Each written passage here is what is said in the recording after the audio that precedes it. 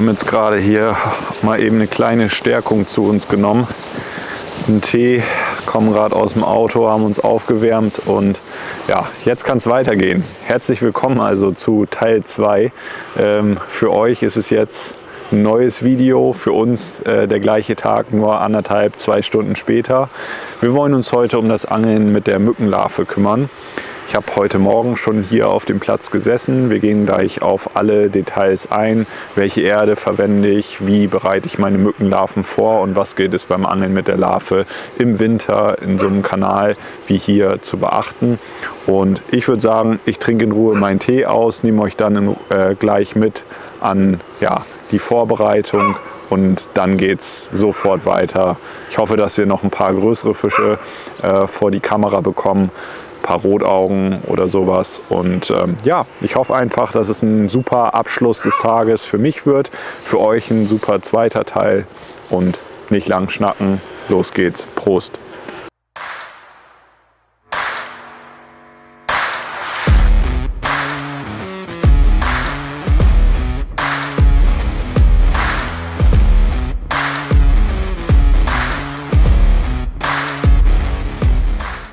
So, als allererstes müssen wir natürlich die Mückenlarven entsprechend vorbereiten und wir haben schon ein paar Mal in einzelnen Videos das Ganze dann ähm, auseinanderklabüstert und jetzt möchte ich euch auch noch mal wirklich so für den Winter so einen ganz langsam fließenden Kanal die Basics einmal äh, äh näher bringen und erklären und dabei auf so ein paar Punkte, die man beachten muss, eingehen. Zum ersten die Wahl der Erde. Ich habe jetzt äh, heute zwei unterschiedliche Varianten Erde dabei. Zum einen hier dieser Damp Leam Competition, ähm, Lehm de Rivière. Sehr hochtrabende Namen immer für eigentlich relativ simple Sachen. Was habe ich hier? Das ist recht schwarze Erde, die ähm, so ein bisschen ja, Bindestoff drin hat und dementsprechend es erlaubt, auch wenn die Mückenlarven da eingerührt sind, schnell zu Boden zu sinken, sich aufzulösen, eher langsam und träge, aber genau das möchte ich eigentlich jetzt auch im Winter, wo die Fische auch träge sind, erreichen. Wenn ich dann das Ganze noch ein bisschen mehr abbinden möchte, gibt es den sogenannten Double Leam Competition. Da ist dann noch mehr Bindelehm dabei. Das ist ein, äh, eine Mischung aus unterschiedlichen Lehmsorten und dementsprechend noch fester. Das würde ich dann eher an einem Kanal machen, der vielleicht stärker fließt, wo das ein oder andere Schiff auch mal durchfährt. Haben wir hier an diesem Gewässer alles heute nicht und dementsprechend entscheide ich mich eben für diese erste Variante. Die ist zudem auch noch äh, stärker abgedunkelt und die kann ich, nachdem ich sie einmal im Sieb ein bisschen oder durch Sieb gedrückt habe und ein bisschen aufgelockert habe, dann wirklich am heutigen Tage eins zu eins für die Mückenlarven verwenden und bin dementsprechend schon, was die Wahl der Erde äh, angeht, komplett durch, indem ich einfach eine fertige Tüte aufreiße und beginnen kann. Was wir immer brauchen, ist irgendeine Form von Mückentrenner. Die gibt es in unterschiedlichsten Farben, Variationen. Ich habe mich heute für die Naturvariante, für eine uralte Dose auch entschieden. Äh, gilt darum, geht darum, die kleinen Mückenlarven aufzutrennen. Das machen wir gleich alles ganz in Ruhe hier auf dem Side Tray und dann seht ihr, wie sich die Mückenlarven einzeln auftrennen und deutlich an Aktivität gewinnen. Zu guter Letzt einfach zwei große Köderdosen. Zum einen kommt in die eine gleich äh, klares Wasser, wo die großen Mückenlarven dann entsprechend äh, sich drin aufhalten während der Angelzeit. Ich habe die großen Mückenlarven letzte Nacht schon einmal äh, vorbereitet. Das heißt, ich habe sie gestern Abend zu Hause in so, eine großes, in so eine große Wanne gefüllt, durch ein Sieb laufen lassen. Da kann man einfach ein schön sauber gemachtes Caster-Sieb zum Beispiel verwenden. Da laufen die dann alle durch. Oben bleiben dann immer so ein paar liegen, die entsprechend abgestorben sind. Die habe ich einmal rausgefiltert, sodass wir eigentlich ein frisches Paket von äh, wirklich qualitativ hochwertigen Hakenmückenlarven haben sollten. Und ähm, ja, die kleinen Mückenlarven trennen wir entsprechend auf. Die Erde packe ich dann gleich schon äh, hier entsprechend in eine meine, in meine Köderdose. Das reicht von der Menge absolut aus. Heute ist es echt weiterhin ziemlich kalt und dementsprechend brauchen wir da nicht zu viel Erde mit zu vielen Mückenlarven einzubringen, sondern können uns auf das Wesentliche beschränken, nämlich den Hakenköder und dass wir entsprechend Fische fangen. Dann würde ich sagen, bereiten wir das Ganze vor. So, als erstes starten wir mit der Vorbereitung der kleinen Mücken. Die sind in Zeitung eingewickelt, die werden so geliefert. Klappen wir das Ganze mal auf. Man sieht schon, hier kleben die aktuell so ein bisschen an der Zeitung fest. Es hält sich ehrlicherweise auch noch in Grenzen, weil es jetzt natürlich auch kalt ist und die Larven die ganze Zeit schön kühl gelagert worden sind. Jetzt streue ich einfach den Trenner so ein bisschen rüber. Das ist wie gesagt, läuft unter Natur, ist so ein bisschen rötlich gefärbt, weil die Larven ja auch ihre eigene Farbe mitbringen. Da nehmen wir noch mal ein bisschen mehr. Ich bin da zwar ein bisschen vorsichtig immer mit, aber ein bisschen muss auch rauf. Und man sieht schon, indem ich jetzt einfach nur mit den Händen so, mit den Fingern so durchfächere, bisschen das Ganze in die Mitte bringen wieder, trennen die Larven sich schon sehr gut voneinander auf. Ein bisschen von der Zeitung hole ich sie auch runter und immer wieder so ein bisschen durch die Finger gleiten lassen dann klappt das schon ganz gut. So jetzt zwischen den Händen reiben, dass die letzten Brocken und Krümel sich auch trennen. Ich bin immer ein Freund davon, das nicht zu genau zu machen im Sommer. Und wenn ich auf Brassen angel und so, jetzt geht es heute natürlich vorwiegend um kleinere Fische, dann nehme ich mir entsprechend ein bisschen mehr Zeit, um das Ganze hier auf meinem kleinen Side-Tray zu trennen immer wieder in die Mitte. Wie gesagt, nehmt euch da einfach ein bisschen Zeit für, ist aber sehr intuitiv und äh, keine große Sache. Dementsprechend sollte das gut funktionieren. Jetzt sind die Mückenlarven entsprechend getrennt. Was ich dann mache, ist, um sie erstmal versorgt zu haben und aus dem, aus dem Blickfeld zu bekommen, um Platz zu haben, wickel ich die Zeitung einfach wieder so ein bisschen ein müsst ihr euch selber so ein bisschen gucken, wie das am besten für euch funktioniert. Ich fange mal an, dass ich es von einer Seite aufwickel, nicht zu fest, so schön locker, so dass sie aber nicht rausfallen und habe dann so ein Paket geschnürt. Das lege ich zur Seite und kann dann entsprechend mit dem Rest weitermachen. So, wie schon gesagt, habe ich die großen Larven so ein bisschen durchlaufen lassen durch ein Sieb, sodass das, was wir jetzt sehen sollten, eigentlich ziemlich schöne Mückenlarven sein sollten. Genauso ist es. Sind recht träge, aber eben feuerrot. Ganz paar sind dabei, die jetzt bei der Kälte ein bisschen sehr träge sind oder auch über Nacht dann abgestorben sind. Das ist nicht schlimm. Ähm, bei den Temperaturen äh, ist es auf jeden Fall vollkommen in Ordnung, so wie sie jetzt sind.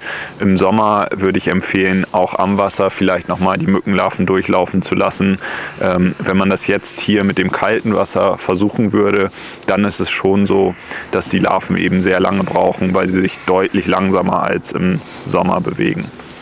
In diesem Fall habe ich mir jetzt einfach eine Köderdose mit äh, ganz sauberem Inhalt, also ganz, ganz sauberem Wasser entsprechend vorbereitet. Habe die Dose richtig schön ausgespült und dann Wasser aus dem Gewässer direkt genommen und fülle jetzt einfach, zack, die Larven ins Wasser. So, jetzt haben wir die Larven entsprechend vorbereitet und ihr seht schon, die sind zwar recht träge, aber eben feuerrot und perfekt fertig zum Angeln. Das kann also, was die Larven angeht, jetzt schon losgehen. So, wie schon gesagt, wollen wir die Erde dann auch noch eben fertig machen. Ich nehme die einfach aus der Tüte. Ihr könnt sie theoretisch auch an Gewässern, wo es nicht darauf ankommt, wie heute bei Eiseskälte wenig Fische zu fangen, theoretisch auch so aus der Tüte rausangeln. Ich sieb sie einmal durch ein feines Sieb heute. So viel mehr als eine halbe Tüte brauchen wir auch gar nicht. Wollen es ja nicht übertreiben. Leg die Tüte kurz zur Seite. Und dann wird das einfach, wie gesagt, schnell und einfach durchs Sieb gedrückt. Gibt mir einfach die Sicherheit, dass sich keine Klumpen mehr in der Erde befinden. So. Und wir entsprechend mit dieser ganz feinen schwarzen Erde dann entsprechend angeln können. Jetzt ist es so, dass die Erde, wie schon eben erwähnt, vorbereitet ist. Das heißt, ich kann sie wirklich jetzt zu einem Ball formen und der wird sich einigermaßen schnell auflösen. Ähm, ich habe jetzt hier zwei Meter Wassertiefe und das äh, Wasser fließt eigentlich gar nicht, ist zudem zugefroren. Das heißt, ich habe auch keine Oberflächenströmung äh, oder sonstiges. Und dementsprechend nehme ich mir jetzt dann von meinen Mückenlarven gleich schon so eine kleine Fingerspitze voll und äh, rühre das in einer separaten Dose dann an. Bin startklar und werde dann gleich zwei Bälle füttern. Jetzt haben wir genug geredet. Ich äh, bin nach der Mittagspause richtig heiß weiterzumachen. Für euch ist der zweite Teil. Wir haben schon viel geredet. Wir wollen jetzt anfangen und Fische sehen. Also, los geht's.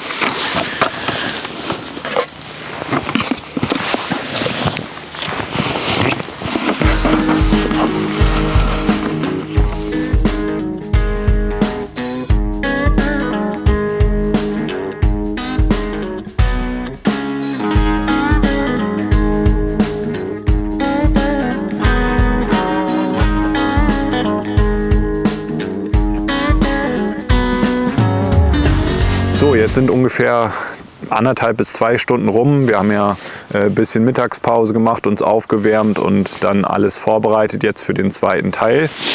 Ich werde jetzt eben nur noch mit Mückenlarven angeln. Das heißt, ich werde Erde einbringen. Wir haben gerade äh, drei Bälle geformt, die ähm, eben einen recht hohen Anteil an Mückenlarven enthalten und ich werde am Haken nur noch die Mückenlarve angeln. Wenn ich jetzt, und das könnte jetzt natürlich so ein bisschen von eurer Seite zurecht als ähm, Aussage kommen, wenn ich jetzt heute Morgen noch nicht hier geangelt hätte und neu an das Gewässer ranfahren würde. Dann möchte ich natürlich erstmal auch Fische an meinen Platz anlocken. Da würde ich dann vielleicht noch ein oder zwei Bälle Lockfutter auch verwenden, was wir im ersten Teil auch äh, getan haben. In dem Fall soll es jetzt wirklich darauf gehen oder darum gehen, einen bestehenden Platz zu optimieren, in der Hoffnung, dass wir einerseits die Bissfrequenz noch mal ein bisschen äh, erhöhen können oder aber äh, größere Fische selektieren können. Das heißt, ich möchte einen bestehenden Platz jetzt wieder aufbauen und optimieren. Es soll nicht mehr darum gehen, äh, komplett neu mit dem Angeln zu starten. Entsprechend merkt euch einfach, wenn ihr ans Wasser fahrt und äh, mit der Mückenlarve angeln wollt, dann natürlich am Anfang ähm, kann es durchaus sinnvoll sein, eben auch Futter zu füttern. Ich mache es nicht mehr und wir legen jetzt los und ich bringe jetzt diese Bälle mit dem Cupping Kit ein, einfach damit ich ganz genau auf dem Punkt angeln kann, auf dem ich auch ähm, füttere.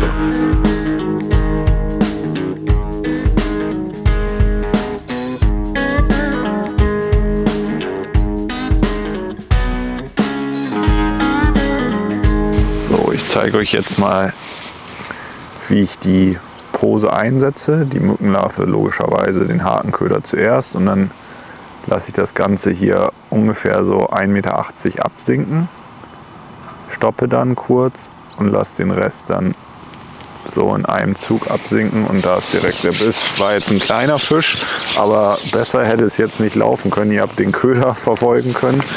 Äh, ja, ist jetzt nicht der Zielfisch. Wir wollen eigentlich ein bisschen größere fangen, aber gucken mal, ob wir das wiederholen können entsprechend. So, Haken neu beködert. Zack, wir sind wieder startklar. Ich schiebe raus. Das gleiche nochmal in praktisch normaler Geschwindigkeit, nicht so wie eben zum Vormachen. Ich stoppe wieder, lasse dann das letzte Stück absinken. So, merkt, die ist sehr gut ausgebleiht. Geht er nicht unter. Jetzt hebe ich noch mal eben wieder ein Stück an. Spiele also ganz aktiv mit der Larve. Das wieder absinken.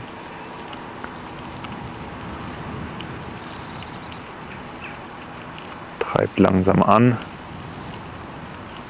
Und da ist der Biss. Das mit dem Abheben und Absenken, das hat auch was mit der Bebleiung zu tun. Jetzt habe ich mal einen etwas besseren Fisch, so die, auf die wir es abgesehen haben jetzt mit der, mit der Zuckmückenlarve. So, kein riesiges Rotauge, aber für den Winter ein super Fisch. Genau der Zielfisch, den wir jetzt erreichen wollen, indem wir eben nur noch mit Mückenlarven angeln. Und zwar ist es so, dass meine Bebleiung auch exakt darauf abgestimmt ist. Ich werde euch die Montage dann gleich im Einzelnen auch nochmal zeigen. Ich habe aber vom Grundaufbau eine Bulkbebleiung, das heißt ich habe meine Hauptbleischrote ungefähr 50 cm von meinem Hakenköder entfernt und darunter dann Elverschrote in einem gleichmäßigen Abstand von, ja, ich würde sagen, so 8 cm zueinander, sodass sich eine schöne Kette ergibt. Und das führt eben dazu, dass wenn ich es so einsetze, wie wir es gerade gesehen haben, die Mückenlarve ganz natürlich absinkt, durch die Gewässerschichten Stück für Stück laufen zu lassen und dann eben im letzten Bereich ganz natürlich den Köder absinken zu lassen.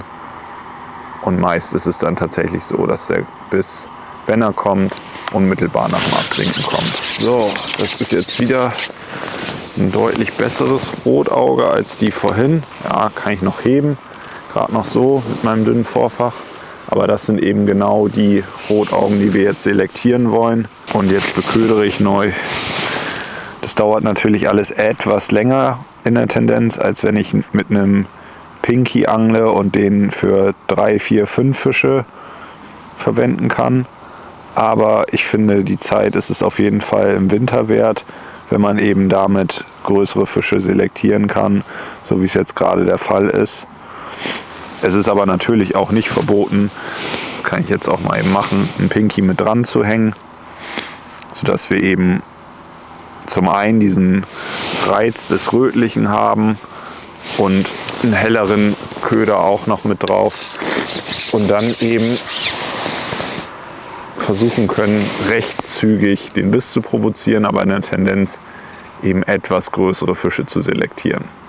So, ich senke ganz normal ab, diesen Kombiköder, den wir haben und dann hoffe ich mal, dass wir einen größeren Fisch fangen. So, Einmal die Montage jetzt im Detail. Fangen wir unten an beim Haken. Ich habe heute einen 22er Haken und einen 24er Haken geangelt, also relativ klein. Logisch, wir angeln auch auf kleine Fische. Das Ganze an einem 15 cm Vorfach. Hier unten sind fünf Elver Schrote, immer im gleichen Abstand von so circa, ja, hier oben ein bisschen schmaler, 5, 6, 7, 8 cm, sodass wir bei der Hauptbebleiung bis zum Haken die besagten 50 cm Abstand haben circa. Das Ganze ist nicht abgemessen. Das ist also wirklich einfach äh, Pi mal Daumen. Wichtig ist, dass der Abstand von, dem, von der Hauptbebleiung bis zum Haken in der Tendenz immer ein bisschen größer wird, damit beim Absinken eben der untere Bereich langsamer absinkt und die Zuckmückenlarve eben langsam nach unten trudelt. Wir haben hier circa zwei Meter Tiefe. Ich angle da eine recht schmalförmige Pose in 0,8 Gramm hauptsächlich heute. Zur Schnur lässt sich sagen, das ist eine 10er Hauptschnur, also auch relativ dünn gewählt und ein 8er Vorfach. Man kann natürlich auch noch feiner angeln. Jetzt ist es so, hier treibt überall Eis und ähm, ja, es ist auch ein Gewässer, wo die ein oder andere äh, Wasserpflanze dann mal drin ist. Ich bin tendenziell davon überzeugt, dass äh, das auch durchaus in Ordnung ist, wenn man eben ja nicht noch viel feiner geht. Äh, andere sehen das durchaus anders. Insofern jedem das seine. Ich angel eben 0,8 mm Vorfach und 10er Hauptschnur. Dann haben wir hier oben den Dacron Connector. Das ist die Größe Medium und ich angel den Slick Elastic in der dünnsten Stärke, die wir haben. Das ist 0,9 mm. Der ist eben sowohl bei den kleineren Fischen beim Anschlag so, dass äh, man wirklich auch merkt, okay, der federt den, den Anhieb ab. Und ähm, gerade so bei diesen ja, Rotaugen, die wir heute dabei hatten, kommt er dann auch wirklich schon so ähm, einen halben Meter raus. Bei größeren Rotaugen dann natürlich auch deutlich, deutlich länger. Und ähm, das ist eigentlich so, finde ich, für den Winter ein gutes Allround-Setup, wenn es um nicht ganz so große Fische geht. Und äh, eigentlich die Grundmontage, die ich verwende, wenn ich bündig mit der Mückenlarve eben angeln möchte. Genau, viel mehr gibt es nicht zu sagen. Ja, und damit kommen wir auch schon zum Ende des Angeltages und der beiden Teile, die wir hier gedreht haben für euch. Ich hoffe, euch hat es gefallen. Ähm, wenn ich jetzt so ein kleines Fazit ziehen möchte, dann ja, war es auf jeden Fall für den Winter und äh, als ich heute Morgen hier angekommen bin, eine zugefrorene Eisfläche gesehen habe, ein echt richtig super Angeltag. Ähm, ich habe ja, eine sehr, sehr gute Stückzahl gefangen an Fischen. Natürlich hätten die Fische ein bisschen größer werden äh, dürfen mit der Zeit, aber wir haben es geschafft, eben mit äh, der Larve ein bisschen größere Fische dann auch ähm, dabei zu haben. Die Frequenz hat, muss man ganz ehrlich sagen, ähm, ja, zwar sich, sich nicht äh, in die negative Richtung entwickelt, aber man braucht natürlich auch zum Beködern der Larve deutlich länger. Wenn ich wirklich nach jedem Fisch neu äh, beködern muss, bin ich in der Tendenz einen Tick langsamer. Ähm, nun war jetzt nicht das Ziel, wirklich auf die absolute Stückzahl zu gehen, sondern eben ein bisschen zu schauen, was verändert sich, wenn ich weniger oder gar kein Futter mehr einbringe, sondern wirklich ausschließlich nur noch mit der Mückenlarve dann füttere. Das hat mir ganz gut weitergeholfen, weil wenn ich beim nächsten Mal dann hier neu wieder ans Gewässer fahre, kann ich daraus meine Lehren ziehen. Ich weiß ganz genau, wenn es mal ein bisschen schlechter wird, kann die Mückenlarve eine Rolle spielen, aber ich bin für die Bissfrequenz, für die Bissausbeute auf jeden Fall nicht zwangsläufig darauf angewiesen, äh, sie dabei zu haben. Jetzt gerade zum Ende hin ist es aber wirklich so, es wird schwieriger und ähm, da kann ich mit diesem Anheben, Absenken, mit der aktiven Angelei, gerade auch im Winter nochmal Fische wirklich dazu animieren, zu beißen und habe jetzt nach hinten raus dann eben deutlich mehr Chancen, konstant wirklich Fische zu fangen. Ich hoffe, ihr konntet was mitnehmen für eure Angelei, hattet Spaß dabei, das Video zu schauen und ja, ich würde sagen, wir sehen uns entweder am Wasser oder in den nächsten Videos. Macht's gut und bis dann. Ciao.